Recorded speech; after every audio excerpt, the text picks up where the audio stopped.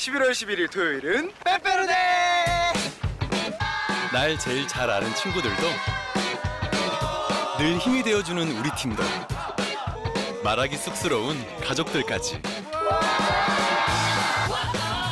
소중한 사람들이 당신의 마음을 기다리고 있습니다. 11월 11일은 토요일이니까 미리미리 마음을 하세요! 언제나 널 아낀다! 롯데 빼빼로